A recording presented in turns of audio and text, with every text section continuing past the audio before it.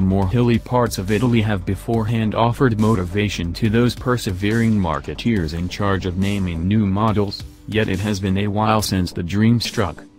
The Ford Cortina and the Triumph Dolomite, be that as it may, have been joined by another Italian in the state of the Alfa Romeo Stelvio, a SUV named after Italy's most elevated and most renowned Alpine Pass. We at last got the chance to discover how fitting the affiliation is. The Stelvio Pass position at the edge of Italy, settled up against both Austria and Switzerland, implies that arriving is dependably the greatest segment of any street trip including the area.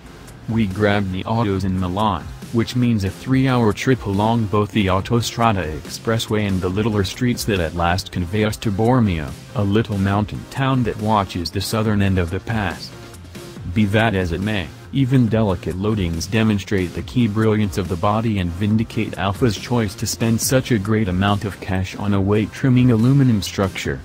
It feels tight and light-footed, is responsive when requested to alter course, and sets up sharp protection from body roll. Ride quality is great, all around damped and on the firm side, but then it manages the lumpier blacktop at higher elevations effortlessly.